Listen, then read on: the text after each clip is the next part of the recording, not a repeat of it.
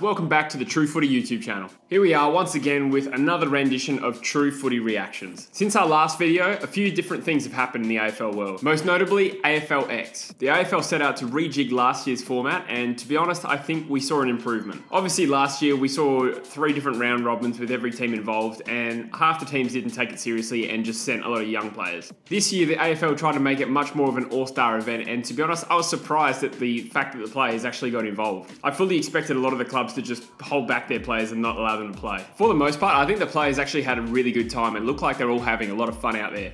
And for them, it's actually a unique opportunity for them to play alongside players they wouldn't normally play with. So seeing players like Fyfe and Bontempelli play together and Cripps and Riewoldt and the whole Indigenous Deadly team, I at least got a bit of a kick out of that as well. At times the whole thing kind of felt like a piss take. You look at the way the players arrived at the game in their weird outfits. I couldn't really pick out the theme of the outfits. Some players really went for that 80s look and others went for a very metrosexual look and others were just completely random. Then there was the whole rock, paper, scissors thing to start the game and you could tell just that the players weren't taking it seriously, which I don't necessarily think is a bad thing. I think that fun, carefree vibe is really what the AFL were going for, and I think that's what they achieved. There's a lot of footy lovers out there who reject the idea of AFLX and they're worried about their players getting injured and all that stuff. But to be honest, AFLX clearly isn't marketed towards people who already like footy. The games themselves were actually kind of hard to follow. It's a very uncontested style game, which I guess plays into the hands of the clubs who don't want their players to get injured. The game was pretty fast paced and pretty much just going end to end, and it kind of felt like watching basketball with no defense. I said once the teams got drafted a few weeks back that the team with the best outside players would probably win the whole thing. As it happened, Rampage ended up winning, and to be honest, I thought they were the best team on paper. Was it actually a really good spectacle? Probably not on TV, but you could tell that the players were actually having fun out there. It did look like a game that was fun to play. Because of the ridiculous scoring systems and the whole game changer rule, it meant that a game was never really decided until right at the end. From the perspective of trying to get kids interested and involved in the sport, that actually makes a lot of sense. What footy's always kind of lacked is a social football presence. With soccer and basketball and even cricket, you get those midweek late night games where you can just go play with your mates. AFL, there's a little bit of a void in that respect. If they can refine AFLX to becoming an actually really fun game, then I could actually see it taking off as a midweek social sport game. Former coach Leigh Matthews actually had a pretty interesting perspective on AFLX. He said he's for the AFL concept even though he's sure his generation wasn't the target audience. However, he says that competitive sport without caring who wins is meaningless. That's a very good point. The teams were kind of gimmicky. He suggests next year they drop the four weird team names and actually go for a state of origin series with Victoria, South Australia, Western Australia, and the Allies all getting a run. Now that's a suggestion that I really like. Footy traditionalists have actually been calling for state of origin to come back for quite a while now. We may not get it in its truest form, but AFLX could be a step in the right direction. And he's right, it's way more interesting watching sport when you care about which team wins. I had no real allegiance to any team playing yesterday, so it wasn't quite as interesting. Let us know what you guys think about that suggestion in the comments. One thing the AFL did get right about AFLX though is they definitely chose the right player to mic up. Jack Higgins was in sensational form last night. Easton, Easton! Hey, West! East West. East and West, God. That's a joke I would make. In other footy news, Champion Data have come out with their annual report. For those who don't already know, Champion Data is the official statistician for the AFL. And every year they produce a report ranking each team and all the players and whether they're elite or not. Every year they come up with some pretty ridiculous results, but AFL is a really hard sport to break down statistically. First of all, they've broken down each club's elite players. As you'd expect, there are some surprises on the list. Daniel Rich makes the cut from Brisbane, as does Lachie Neale, but no Dayne Beams from Collingwood. That's an interesting one. Personally, I think Beams is better than Neale. David Mundy makes the list. That's impressive. Don't get me wrong, I love David Mundy and he was definitely a star, but I wouldn't have thought he was an elite player in 2018. Sam Menegola makes the list. Trent Dumont as an elite wingman. Josh Caddy, I mean, he's a good player, but that surprises me. I guess the way they're rationalising it is he's in the top 5% in his position or whatever. Bulldogs is interesting. No Bontempelli, but you've got Matt Suckling in there. I wonder if Bontempelli is one that kind of suffers because he moves around his position. I'm not really sure. The Premiership Eagles have five elite players, but interestingly, no Andrew Gaff, but Tom Barrass does make the list. Hmm. Now let's have a look who didn't make the elite list. Thank you, Triple M, for your graphics, which I'm blatantly stealing. These following players are ones that they've rated as average. Bryce Gibbs makes the list. Charlie Curnow as well. That one doesn't really surprise me because his output isn't really reflected in stats. I mean, he's a key forward for the worst team in the competition. Dayne Beams, Dyson Heppell, those two ridiculous. Michael Hurley as well, honestly, one of the at least top three key backs in the league. Dylan Shiel is overrated, but he, I thought would have said he's better than average. Angus Brayshaw makes the average list despite coming third in the Brownlow. Brayshaw's a funny one. I think he's got a lot of potential, but his disposal efficiency for a guy who gets a lot of uncontested ball is quite low. I kind of get why statistically he's not ranked that high. I do really like him as a player though. Trent Cotchin, another one who doesn't really get a lot of stats, but I would have said he was better than average. And Sydney's Josh Kennedy, gee whiz. That, no, that's a surprise. And finally, they've gone ahead and ranked the teams 1 to 18. Your top three teams Melbourne, Adelaide, and Essendon, interestingly. The Melbourne one doesn't really surprise. I think everyone's sort of on board that train now. They managed to make a prelim, and although they got belted, they showed a lot of promise. They have some seriously elite players and pretty young ones too. Adelaide being ranked second is really impressive considering how many players they've lost. I don't think personally they're a top two team, but I do think their list is underrated, and the fact that they got wrecked by injuries last year is something that people forget. I could definitely see them being a top four contender this year. Essendon is another team who's really good on paper, but really hasn't delivered the goods. I'm actually getting a lot of hate for not having Essendon in my top eight prediction this year. That may change, but I mean, until Essendon can really prove it for a whole season, I'm just very, very worried about tipping them. The rest of the list looks pretty good, other than the fact that you have the reigning premiers in 12th. I think Richmond were ranked 8th last year after they won the flag, so um, yeah. and Fremantle all the way down in 17th seems wrong to me as well. But anyway, like I said, it's just statistics, and footy is a very hard game to break down statistically. Another semi interesting story is that Dwayne Russell has come out apparently and said that the AFL are working on a second tier reserves competition by the start of 2022. Now, I'm going to admit, I took this off a random Facebook page called AFL Scores and News, which doesn't name their source. So this could be bullshit, but let's just assume it's real. Personally, I'm not really surprised that they're going for a second tier competition. I think it's probably the worst kept secret that they're that's what they intend to do. So according to this, within three or four years, the AFL hopes to have all 18 teams playing reserve comp. I don't know how that will be formatted because there's going to be a lot of costs incurred, especially by the interstate teams who I presume are going to have to travel every second week.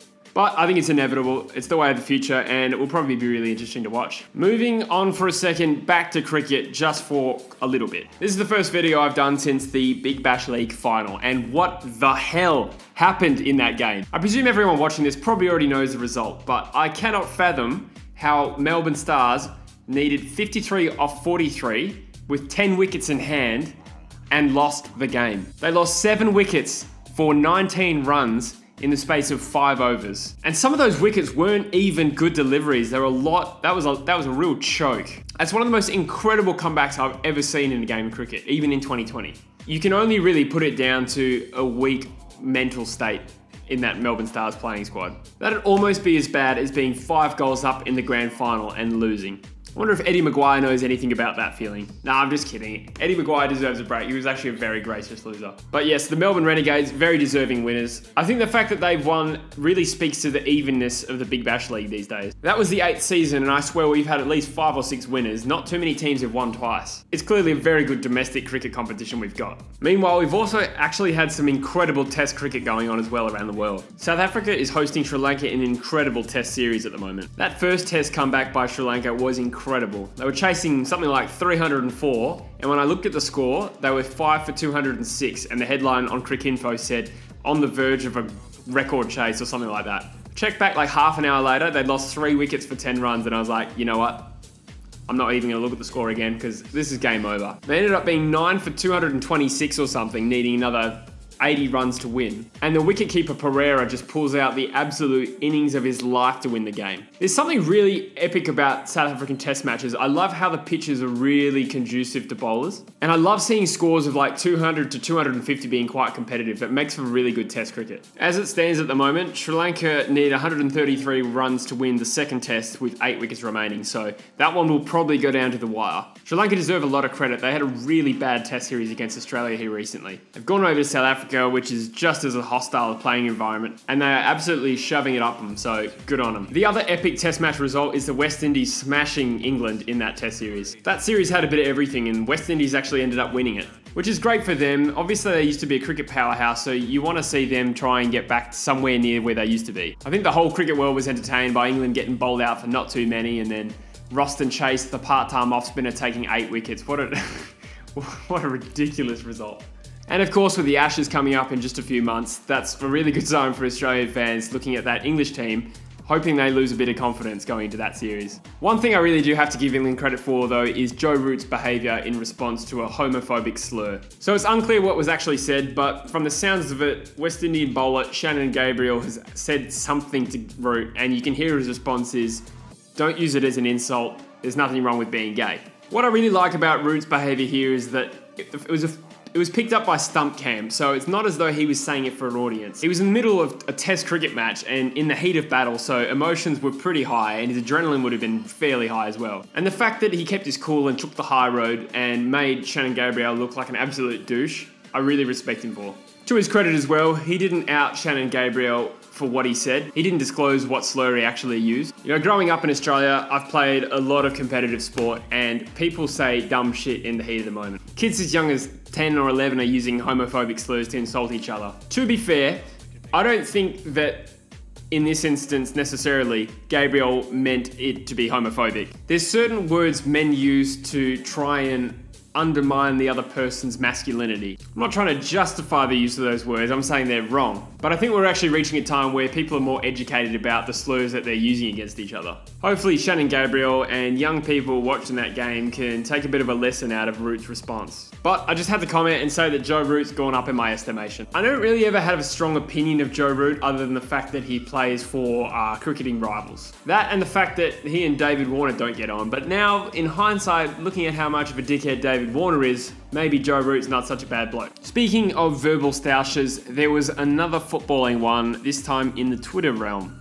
I don't know if you'd really call it a stoush, but it was a bit of a debate. Sam McClure reports that the AFL have crunched the numbers and that total league injuries went up by 20% in the AFL in 2018 compared to 2017. Kane Cornes quoted the tweet with the caption, reduce rotations. Patrick Dangerfield chimes in, and he's always been an advocate for players having more rest, says, yes, let's give the players less rest. And he's used that Alan from the Hangover meme, you know, he's doing all the math in his head. Kane Cornes goes on to explain that more fatigue would equal less speed, which might reduce the risk of high impact injuries. So the fact that players can't go on and off means they won't run as hard and they're less likely to get injured. Now, I've never played AFL, but I don't know if I really buy that one. I'm also not a physiotherapist, but I would have thought the more fatigued players are, the more duress their muscles are under, the more likely they are to get injured anyway. So I don't know if I buy that. But I would be interested in more educated people weighing in on that. So if you have an opinion on that, go for it in the comments.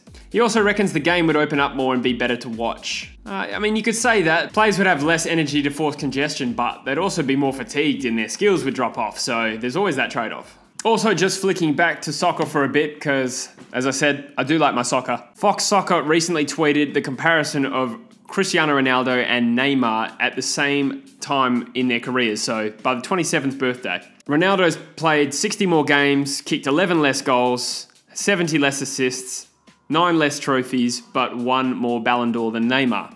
I think you have to take these into context. Neymar has played in a better team the whole time, in a much easier league comparatively. You need to give credit for Ronaldo being the main man at Man United for so many years and a much tougher competition. That would explain why he's won nine less trophies than Neymar, who's spent the whole time with Messi and Suarez and Iniesta at Barcelona. There's also a consideration that part of the amazing thing about Ronaldo is that he is still such an amazing player into his mid 30s. But to be fair to Neymar, those numbers are ridiculous. He is an absolutely incredible player. I'm keen for your guys' opinions, but I know it'll pretty much weigh in in who you support PSG or Real Madrid or Barcelona. Maybe the debate won't actually be that good. The battle at the top of the Premier League table is as interesting as ever, and Man City have just set out a massive warning signal to the rest of the competition, belting Chelsea by six goals. Personally, I think this week will be the week they overtake Liverpool, who have a tough away fixture against Man United, who they don't usually win away against from memory. And to continue the theme of verbal jousting, Vidic has come out and said that he wouldn't take Van Dijk over any of Man United's defenders. I guess it's not really that much of a surprise. Vidic used to play for him, but still. And one other final little bit of info in the soccer world Aaron Ramsey has become the fifth best paid soccer player in the world. He's just signed on a free transfer to Juve, and according to Forbes, earns nearly 21 million pounds a year. Don't get me wrong, Ramsey's not a bad player at all, but it'll be something akin to someone like Jarman Impey being the top five paid player in the AFL. Anyway, I've probably been rattling on for long enough. I should probably finish this video up. Hopefully, the True Footy podcast will be back with you next weekend. We've had a little bit of a hiatus because it's getting slightly more difficult to all get together to do an actual podcast. But hopefully next weekend and maybe with a couple of guests as well. If you haven't seen it already, we've recently launched a classic players series. Joycey made a couple of good videos about Akermanis and Ben Cousins, and then I made one about Daniel Kerr. Continuing the theme, Currently working on a Shane Crawford one next up in the series. I'm also thinking Matthew Lloyd and Adam Goodes, but one at a time. I also want to continue my team focus videos as well, and I've got Western Bulldogs, Sydney, and Essendon all written in my notes tab telling me that I need to do those videos next. Please be patient. I do work full time. I'm also still at uni, so I'm just trying to smash out these videos as quickly as I can. If you're new to the channel and you like this video, please consider hitting subscribe. We do all kinds of AFL content. I'm also keen to launch a weekly show just like this during the football season. I'm still trying to think of a name for it. I'm currently thinking the football come down, but I don't know if that's too salacious. Anyway, guys, keep liking the videos, keep commenting your video suggestions. Hey, Jesse, do another Eagles video.